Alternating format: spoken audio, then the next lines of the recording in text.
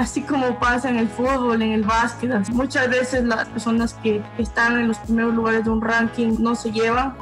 Van a coquetear a los torneos de ajedrez. O sea, es decir, es decir, cuando yo vivía aquí solo quería Hollywood, no veía películas nacionales, no leía autores nacionales. Y cuando me fui empecé a valorar más. Creo que es algo, es algo bonito el, pensar que, no solo hacemos las cosas por nosotros, sino por un, un bien mayor. Es el abogado del diablo.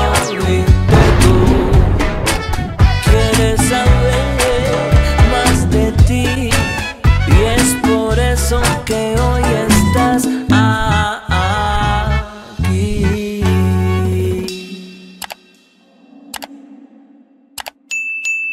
Bueno, para los que no saben, eh, que estén escuchando, Carlita Heredia es la segunda gran maestra internacional de la historia del Ecuador. Lo alcanzó tan solo a sus 21 añitos, hace ya que 8 años, Carlita. Eh, sí, ya, el tiempo pasa. No Cuando campeonaste el Panamericano en Montevideo. Ah, te veo que, has hecho bien tu, tu trabajo investigativo. Periodista no soy, me gusta hablar, me gusta tener conversaciones, pero claro, obviamente debes también un poquito saber las cosas, como que los, los, los, cliff notes, los cliff notes de las personas con las que vas a hablar. Y en tu caso es fácil porque has hecho tantas cosas y has logrado tanto a tu corta edad que solo escribes Carla Heredia en, Google y, el Google solito ya te autollena las preguntas que debes buscar. Es loquísimo. Eh, pues mi travesía, bueno, yo, yo para la gente que escucha, vivo ocho años aproximadamente en Estados Unidos me gané una beca a través del ajedrez. Ah, en Estados Unidos es muy común las becas deportivas de, muchos deportes, incluido el ajedrez. Y fui a parar en Texas, en la ciudad de Lubbock, que es una ciudad chiquita, 200 mil personas, 40 mil de ellas son estudiantes. Sea, es una, un college town, una ciudad eh, universitaria. Todo gira, bastante de la economía gira alrededor de, de los servicios a los estudiantes, de casas, de comida, de fiesta, etcétera pasé aproximadamente 6, 7 años entre el, pregrado, me gradué de psicóloga, luego me tomé un, pequeño break de 6 meses, vine acá y luego estudié mi maestría en gerencia deportiva. Y hace un año y poquitos meses eh, me mudé a California, finalmente buscando un trabajo. Eh, y ya bueno, actualmente vivo a una hora de San Francisco. Eh, soy profe en una escuelita pública. Eh, eso es chévere porque normalmente las escuelas públicas no tienen este tipo de extracurriculares y tampoco grandes maestros del ajedrez dando clases. Eh, a mi escuela bastantes, ¿cómo se dice? Donors, bastante... La, ha donado, la donado como dinero y de esa manera han podido tener robótica, ajedrez, matemáticas fuera del pensum.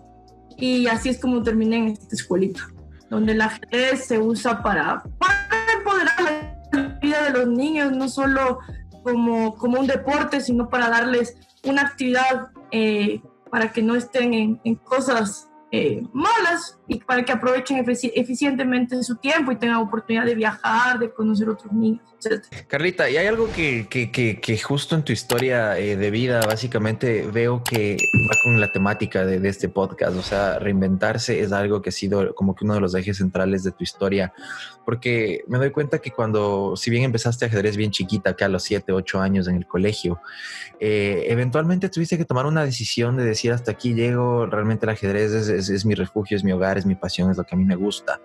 Y los estudios tienen que pasar a segunda mano, los quiero terminar a distancia y al, final conseguiste el apoyo de tus padres para hacerlo. Pero esta fue una primera manera de reinventarte y de ponerle toda la carne al asador con el ajedrez. ¿Cómo vino esta decisión en tu vida? ajedrez, desde que empecé a jugar a los 8 o 9 años, me, gustó mucho. Em, como tú bien dices, aprendí en la escuela, luego pasé a Concentración Deportiva Pichincha, que es el, el ente deportivo más importante de, de, mi provincia. Eh, y ahí pasé todas las tardes, pasaba de, no sé, 4 a 7 de la noche entre jugar ajedrez, hacer amigos y jugábamos fútbol en los recreos, en las pausas.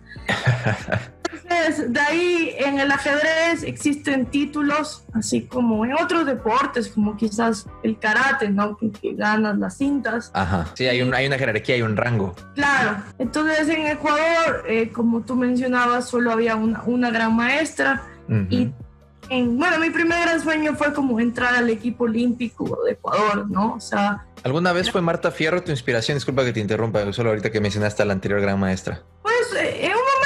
Sí, creo que para todo niño eh, ver a, la gente que ha, logrado cosas es, es, importante. Lamentablemente con el, con el pasar de los años, eh, quizás esa relación que pudo ser productiva o pudo ser interesante para el ajedrez o así, eh, no fue lo que yo esperaba. La verdad que hay, así como pasa en el fútbol, en el básquet, así, eh, muchas veces las personas que, están en los primeros lugares de un ranking no, no se llevan y pues yo hace mucho tiempo que, que no me llevo. Eh, no, simplemente fue una, una, una gran decepción para mí y más allá del deporte, pues si tú no puedes confiar en alguien eh, o alguien habla a tus espaldas, obviamente que, que, eso va lastimando, va lastimando la relación cordial, profesional que puede existir.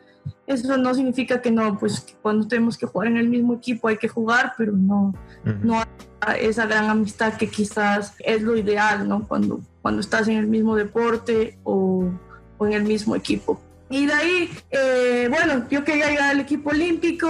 También, pues cuando yo crecía estaba, por ejemplo, Evelyn Moncayo, que quizás también te suena. Y, y, recién a los, a los 18 años conseguí esa meta de llegar al equipo olímpico. Fui a la Olimpiada de Dresden en Alemania. Tenía yo 18 años y como te decía, las Olimpiadas de ajedrez son cada dos años, entonces no estamos en el ciclo olímpico, pero sí somos reconocidos por el Comité Olímpico Internacional ahí ese fue como mi gran sueño, ¿no? Llegar al equipo olímpico de Ecuador. Eh, obviamente que pues, lo que pasa en Ecuador es que uno puede llegar alto, puede llegar al equipo olímpico y no es garantía de que vas a tener entrenamiento o vas a tener estas condiciones para seguir mejorando, porque pues, la federación es un desastre básicamente. Eh, los recursos no, no, no, los, no los usan de manera ideal las dos últimas Olimpiadas que hemos ido no tenemos ni siquiera uniforme, o sea, en ese nivel estamos, ¿no?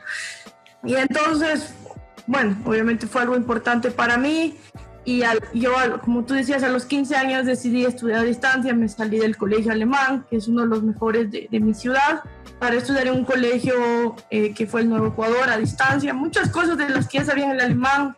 Entonces yo paso a un sistema educativo a distancia donde muchas de las cosas ya las sé, pero sí le estoy muy agradecida al colegio porque eh, los profesores interactuaban conmigo, eh, preguntas, respuestas, y cuando necesitaba eh, anticipar o, aplazar un examen, pues siempre hubo esas facilidades, ¿no? no, no, no es tan común aquí en Ecuador que, que los niños talentos en un deporte se vayan por el homeschooling o el, o el estudio en la casa, ¿no? Yo creo que eso en Estados Unidos es es más común que, lo que yo he visto aquí, ¿no? De mis compañeros de ajedrez, yo no conozco a uno solo que haya hecho lo mismo que yo.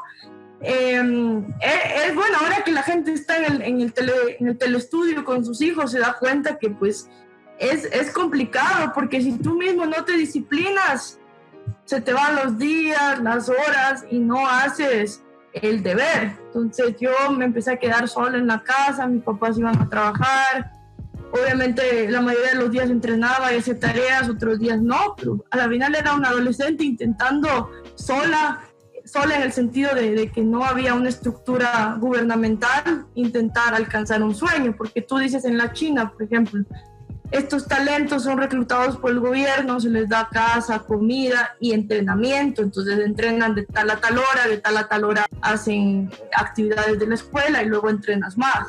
todo, esto era sumamente empírico, ¿no?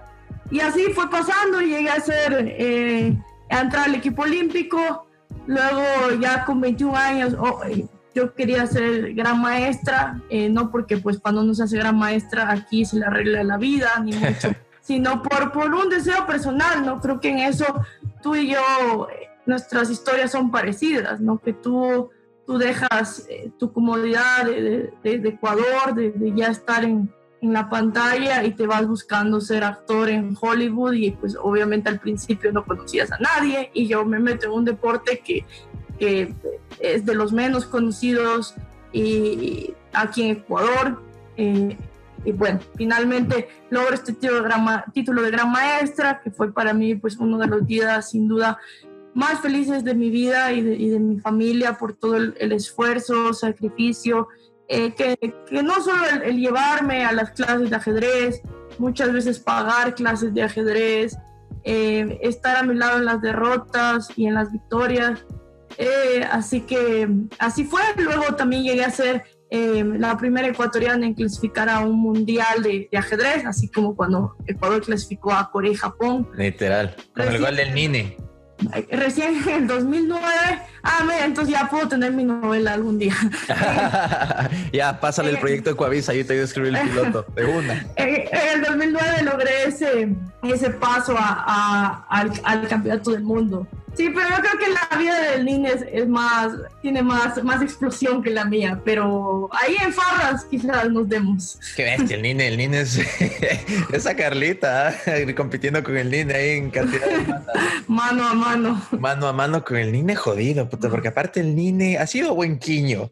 Es un galán, ah, crack en el fútbol. y aparte, las, no sé si te ha pasado, pero bueno, a veces que en el YouTube así te recomienda, te vas en ese rabbit hole de entrevistas. A mí me encanta escuchar entrevistas. Creo que hasta por eso terminé ah, haciendo el podcast y hablando con la gente, porque me fascina conversar. Y hay unas entrevistas que le hacen a Cavieres. Es un personaje tan tan interesante. Cada que habla es como que tiene una manera tan peculiar de ver la vida y como que es una mezcla entre sabiduría con un poco de, no sé, tienes que parecería gente pensaría que está loco, que está chiflado, pero es, no sé, tiene un montón de cosas profundas que decir. Me parece súper fascinante el tipo. creo que es bien loco en el sentido que muchas veces la gente eh, yo soy muy, muy, muy crítica de, de, muchas cosas, ¿no? Pero algo que no comparto con el común o la gran mayoría de gente. Es como cuando la gente dice, este man, el mismo Nine, ¿no? Tenía todo para llegar al Barça, al Madrid o, más allá del, del Perú y del, creo que el Valladolid que jugó. Ajá, del Celta y también creo que en el Porto. Sí, o sea, llegar a un equipo tipo el Manchester. Sí. Pero la verdad es que la gente a veces no se da cuenta que, que los seres humanos no somos una máquina, ¿no? O sea, yo quiero que la gente que me escuche sinceramente se pregunte, los 365 días al año, trabaja las 8 horas, nunca tiene una distracción, nunca luego del trabajo se toma una cerveza, nunca tiene problemas en la casa y al día siguiente su mente, usted está en el trabajo, pero su mente está tres horas afuera pensando cómo arreglar. Y ahora eso lo trasladas a un niño que se va de, no sé, veintipico de años, que tiene demasiada plata que nunca ha visto.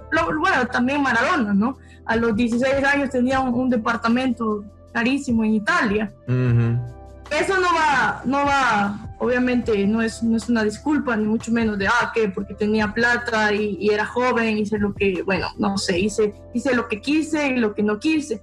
Pero sí es una realidad completamente diferente a la que la mayoría vive a sus 20 y pico de años. Y si uno como persona común y silvestre a los 20 años muchas veces farrió un montón y al día siguiente apareció al trabajo o a una reunión, imagínate a alguien a quien le sobraba la plata, lo difícil que era estar 24 horas al día en su trabajo, ¿no? Ahora, yo lo que creo es que al futbolista ecuatoriano quizás le falta un acompañamiento, un acompañamiento en el sentido de que el manager, ok, le concreta el, el, club en, en, Alemania, pero lo deja y bueno, mi padre, gracias, chao. Y un nuevo idioma, un nuevo equipo, o sea, creo que hace falta que, que, que, que el ecuatoriano se mentalice para poder dar esa, ese brinco y no solo, no solo darlo, sino quedarse, porque yo creo, o yo muchísimas veces me he querido regresar a Ecuador y no, no, porque ya no aguantas, o sea, porque es difícil, porque es complicado. En todas las aristas, tengas dinero o no, es complicado adaptarse a una nueva cultura. Y creo que la gente es demasiado dura cuando, cuando critica a algún futbolista que pudo haber llegado más y, tuvo que regresarse por, por, diferentes temas. Claro, bueno, en el caso de Caviedes es, interesante porque, claro, la gente tiene como que esta especie de, de coraje porque sabían el potencial que él tenía, o sea, técnicamente yo creo que era el jugador más dotado de la historia del país, era una habilidad y una manera de jugar que muy pocas veces habíamos visto. Entonces yo creo que parte de ahí, y porque sabían que era tan joven y había batido el récord mundial de más goles en un torneo, en un campeonato nacional, creo que es 44, ya no me acuerdo, pero la cosa es que creo que la rompió en ese año.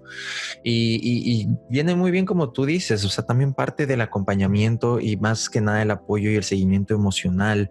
Y es algo que ahora veo que está ocurriendo eso, el paradigma está cambiando a través del Independiente del Valle, que mismo los tienen ahí viviendo, les dan escuela, les dan estudio y un poco más los están apoyando con, con coach, con eh, psicólogo, psicología deportiva, que justamente es lo que tú haces también. Y mm, hay varias cosas que hacen que una persona, como tú dices, tenga que adaptarse, porque claro, llegar, vemos que muchos jugadores ecuatorianos son transferidos al extranjero, pero ya en mantenerse, en mantenerse viene la parte dura, porque como dices, es súper jodido eh, tener que adaptarte a una nueva comida, que es algo que le pega mucho al ecuatoriano, el tema de la comida, por eso pasó todo el tema de Novoa y la joda de los patacones y el jugo de naranja, o sea, el ecuatoriano. pero eh, a ese sí no lo defiendo, porque...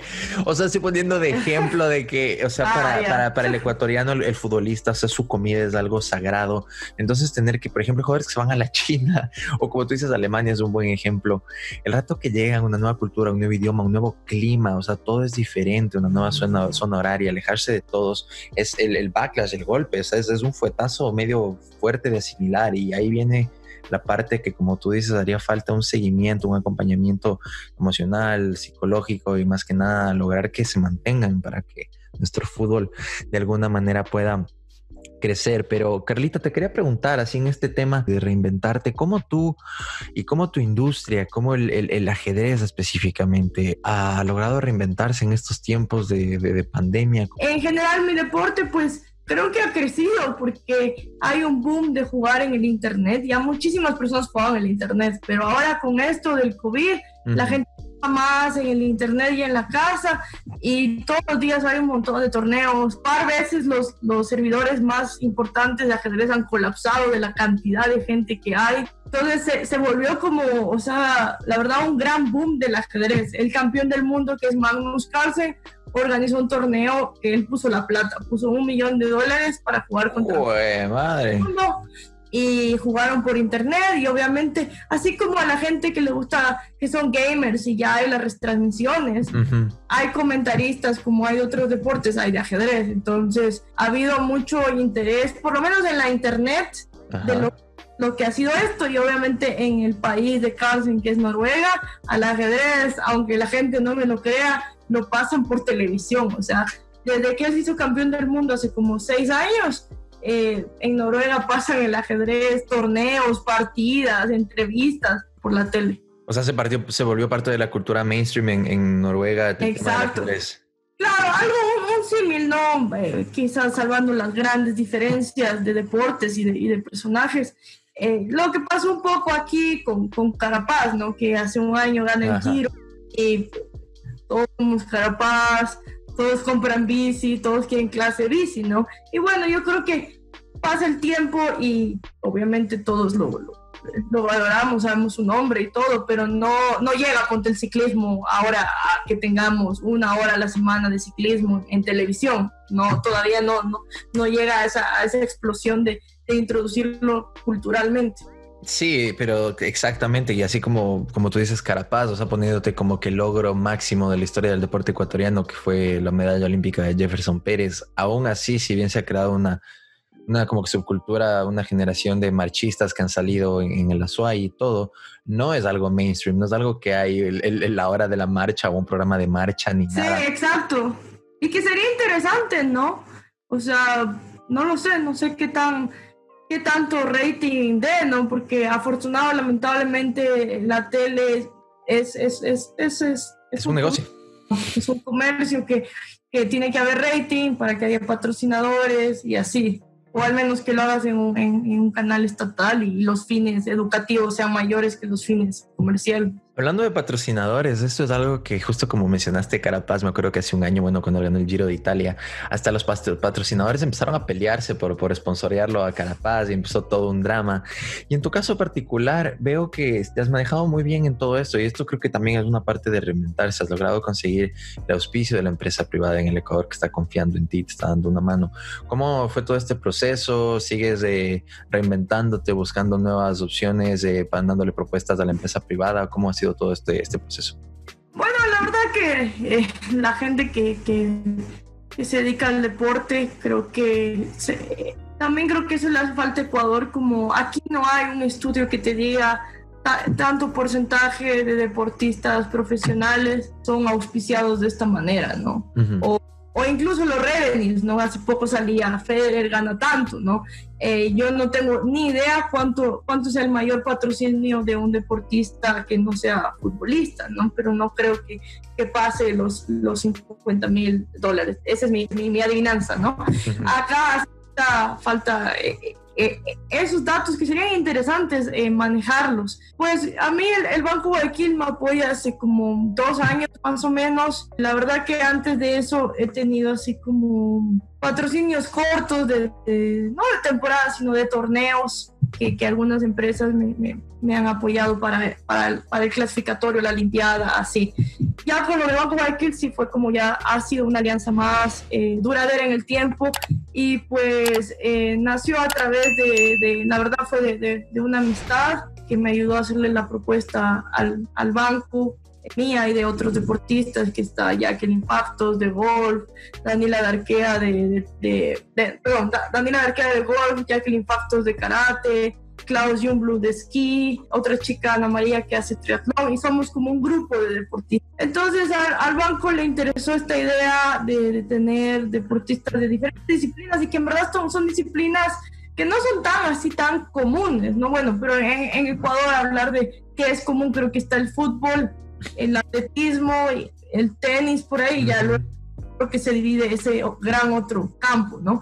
Y cuando me refiero a común, no me refiero a, a, yo te puedo ahorita hacer un torneo de ajedrez, pongo premios que no son muchos y se meten 400 personas. Y en, en, o sea, no me parece un número malo, pero digo en común en que la gente esté pendiente, o sea, mainstream, digamos.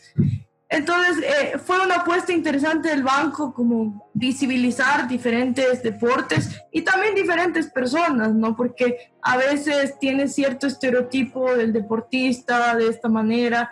Eh, creo que cada uno de estos deportistas, también están unos chicos de rugby que tienen, tienen algún tipo de discapacidad. Entonces también visibilizar los diferentes tipos de, deportistas, ¿no? Eh, creo que fue algo interesante el banco y que también haya esto, ¿no? que haya hombres y que haya mujeres, que haya y, y, en diferentes disciplinas. Hicimos un comercial bastante chévere y pues empezó a salir como una serie que se llama Cada vez más cerca, que cuenta la historia de, de cada uno en un episodio de cinco minutos. Está el Independiente del Valle, está Jacqueline Klaus, los que le contaba.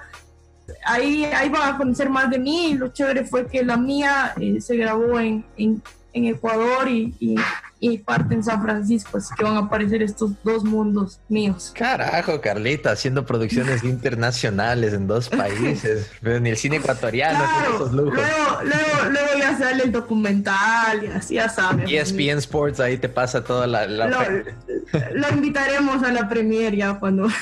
Perfecto, me pasas ahí. ¿Qué te iba a decir, Carlita? Pero, ¿y cómo está el tema de las clases? ¿Cómo has visto el tema de, de, las edades? ¿Son más niños, son más niñas? ¿Ves que hay un crecimiento en algún género en específico por, por este deporte o cómo es la distribución ahorita? Bueno, en general son más niños. Eso ha sido los últimos, no sé, 100 años del ajedrez. Eh, Es un deporte mayoritariamente masculino. Eso, por ejemplo, yo no sé, por eso pregunto. Sí, sí, o sea, tú vas a un torneo de 100 personas y va a haber 10 mujeres jugando el ajedrez. ¡Wow! 10%. Es parecido a las matemáticas o a otras ciencias. Obviamente que eso no quiere decir que las niñas no puedan, no deban jugar, ¿no? Hacer más, más promoción, también eh, crear, creo que eh, lugares seguros para, para, las, para las niñas, ¿no? Y las mujeres en general, porque a veces en algunos clubes de ajedrez, eh, tú vas jugando ajedrez y te encuentras tipos que lo que quieren es coquetear y tú no vas, o sea, uno va a, coquetear a los torneos de ajedrez. O sea, es decir, es decir que, que, que, si van, si están 100 personas y son solo 10 mujeres en una semana de torneo, pues obviamente lo único, no lo único que haces es jugar ajedrez y está bien relacionarse.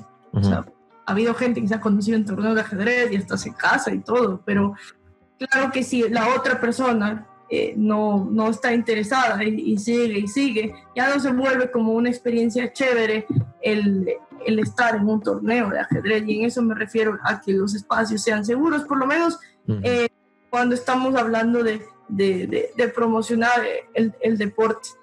Hay iniciativas chéveres como en la academia que yo doy clases en Berkeley, eh, tenemos un grupo solo niñas eh, la idea es que armar un equipo, que puedan hacer amigas, así. Y obviamente estas niñas también en ciertos torneos compiten con los niños. hay categorías en el ajedrez mixta y solo niñas. Entonces las mujeres podemos escoger si jugamos la una o la otra. Yo juego ambas.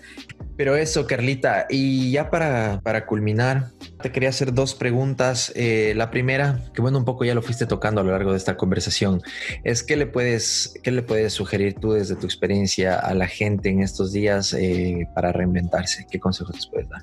Pues eh, el otro día que me acordé que ya había estado un año en California recordé que cuando llegué todo era como que fail, porque llegué con una oferta de trabajo de tantas horas y esas tantas horas no era lo que me ofrecieron. Y o sea, obviamente no tenía nada firmado, era de la misma industria del ajedrez. O sea, los primeros dos meses pasé full mal en California pagando un alquiler carísimo. O sea, no hacía plata ni para pagar el alquiler. Cuando de la universidad en Estados Unidos solo puedes trabajar en lo que te graduaste. O sea, lo mío solo era deportes, no podía ser Uber o, o mesera o lo que fuese porque te restringen eh, para que los estudiantes no se queden haciendo otras cosas no relacionadas con lo que no estudiaron. Entonces la pasé full mal y chuta, y fue como que ya me regresaba, porque ya era como que, pues, ¿cómo, cómo voy a estar aquí viviendo en casa de alguien más, gastando plata y en un país extraño? Y luego se fueron abriendo otras puertas, especialmente en Berkeley. Yo tampoco es que les conocía mucho, pero fui, me presenté, les dije que si me podían dar más horas de trabajo. Y ahí es como que las cosas empezaron a, a salir mejor. Eh, yo, yo soy malísima para tocar puertas, aunque no lo creas, Paul. Como a mí me cuesta full, hasta si yo sé que algún primo o amigo trabaja en X cosa, o sea, pedirle un favor, o oye, o preséntame a, fulano, yo sé que tú te llevas con él, o sea, me cuesta mucho, mucho, mucho. mi mamá es súper buena para eso y soy malísima, o sea, más como mi papá. Pero la necesidad, la necesidad de, de, de, de trabajar. Entonces, luego también me mandé a hacer mil afiches de clases privadas y repartí en los torneos del ajedrez. O sea, yo en mi vida había repartido un afiche. ni, de nadie, o sea, yo dentro de lo que cabe he sido una, una niña bonita, ¿no? De, de, no tener que haber en mi vida trabajado de repartir un afiche y me tocó hacerlo, porque si no, o sea, qué vergüenza pedirle plata a mis papás o, tener que regresarme luego de haberme dedicado seis años a, mi, a, mi, a mis estudios, ¿no? Hasta con maestría. Repartí afiches y ahí me empezaron a salir unos alumnos privados, alguna gente no me recibía el afiche porque pues normal, ¿no? O sea, y así empecé, o sea, tocando puertas, dejando afiches en el barrio que vivía. Entonces creo que ahora como que el otro día me puse a reflexionar un chance de lo que, bueno, había sido para mí el empezar en California. Ah, luego, luego eh, trabajaba para una academia en San Francisco y, como mi jefe me valora bastante y también yo, yo soy bilingüe, así es que me salió el trabajo en la, en la, en la escuela pública a través de alguien más. No fue que yo apliqué porque no, ese trabajo eh, fue recomendación. Entonces, si hay algo que desde mi experiencia y desde esa experiencia negativa aprendí, es que hay que tocar puertas. Y, si eres como yo, alguna persona que no le guste, pues si en este momento están sin trabajo, tienen que seguir tocando puertas. Y eso significa, si hay que llamar a tus 20 panas y decirle, oye, hace un mes estoy sin trabajo, si escuchas algo de esto, avísame hazlo, porque en verdad son tus amigos. Y si, y si te dice llama fulanito de mi parte, hay que hacerlo, por más que odies hablar por teléfono como yo. Y si tienes que imprimir 100 afiches de tu, de tu emprendimiento y irlos dejando por tu barrio, ¿no? O sea, muchas veces en, la, en tu propio barrio la gente ya no se conoce, ya no sale al parque a jugar.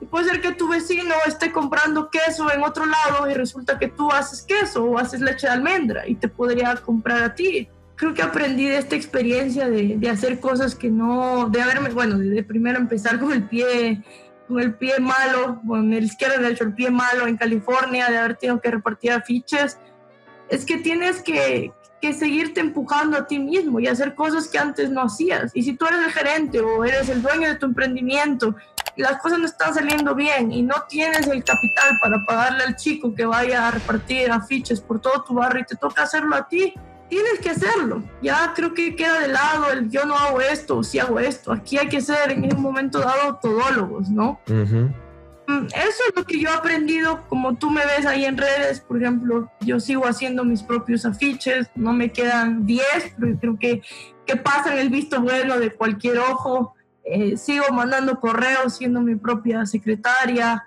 eh, y lo hago porque es parte de mi trabajo y, y hay que seguir tocando puertas, abriendo puertas, pero sí creo que es interesante para si no concretas un negocio, empezar a conocer gente que en algún momento dado tú le puedas ayudar, echar la mano o viceversa, ¿no? O, construir alianzas, como decían. Y para cerrar, Carlita, todo lo que dijiste me parece súper interesante. Estás dando muy buenos consejos para la gente que nos está escuchando. Si es que, ¿qué le dirías de consejo a Carlita Heredia de hace unos 10, 15 años cuando estaba empezando? Después de ver toda tu vida, cómo las cosas han ido desarrollando, ¿qué consejo le darías a esa Carlita Heredia que estaba empezando? Eh, me hiciste acordar una canción que se llama A mi yo de ayer, que es de un rapero que se llama Raiden de España. A mí me gusta mucho el rap. ah. Pero muchísimo me gusta el rap. Entonces en la, en la canción empieza a hablar con, con, el niño de 10 años, con el de 15, y le dice pues, eh, o sea, básicamente que no, no podría haber escogido una vida diferente, ¿no? Creo que, creo que muchas veces me habría gustado quedarme aquí y no haber viajado tan lejos y construir algo en Ecuador, pero sé que al mismo tiempo el haberme quedado aquí quizás no me habría permitido alcanzar todas las cosas en el ajedrez que he logrado y también regresar a ver y, valorar más a mi país, como que alguna vez te contaba cuando me fui y extrañé tanto Ecuador, fue que más me empecé a interesar por, por la cultura de mi país, de, todo, ¿no? Desde libros, películas. Y cuando yo vivía aquí, solo quería Hollywood, no veía películas nacionales, no leía autores nacionales. Y cuando me fui empecé a valorar más. Y, y es algo que, que las cosas pasan por, por algún motivo, ¿no? Hay veces que uno quisiera devolver el tiempo y hacer cosas diferentes con ciertas personas o, o, con tu carrera mismo y decir, ay, ¿por qué no estudié ingeniería, qué sé yo, de software, ¿no? Que es lo que, eso sí creo que hay de trabajo en los siguientes 30 años. Pero mm, no sé, o sea, creo que a medida de lo que cabe, de lo que ha sido mi vida en estos cortos o largos 29 años, en general he logrado lo que lo que me he planteado. Eh, así que no, no sé, creo que le diría que, que siga soñando, que siga conquistando las cosas que sueña en el ajedrez, pero que no se olvide pues nunca de, de dónde viene y que cada vez que pueda ayudar, sea a algún amigo o a su comunidad eh, pues de, de, de, Ecuador, pues que lo haga, ¿no? Creo que es algo, es algo bonito el pensar que, que no solo hacemos las cosas por nosotros, sino por un, bien mayor. Excelentes palabras para terminar esta conversación, Carlita, por un bien mayor, un bien común, me parece genial y súper inspirador todo lo que estás diciendo. Espero que esto le sirva a toda la gente que nos está escuchando. Mi Carlita, te mando un abrazo y muchas gracias por estar el día de hoy acá. Gracias, Paul. Creo que sin duda tienes muchas ganas de, de seguir aportando en especial en, en nuestro idioma, ¿no? Em, no te has olvidado de, de, de, la gente. A mí me gusta mucho lo que haces con las películas y algunas recomendaciones que das, pues yo las veo en el Netflix luego. buenísimo, buenísimo. Muchísimas gracias. Gracias por estar aquí. Y es una persona que admiro mucho, que quiero mucho y estaremos en contacto. Ya nos veremos. Dale, chao, chao. Gracias por ver este podcast. Si es que te gustó, dale like y suscríbete al canal así sabes cuando suban nuevos episodios. Aquí te dejo otro podcast que seguramente te va a gustar y si quieres irte de largo, un playlist con todos los episodios de Acción Podcast. Que estés bien, nos vemos la próxima. Chao, chao.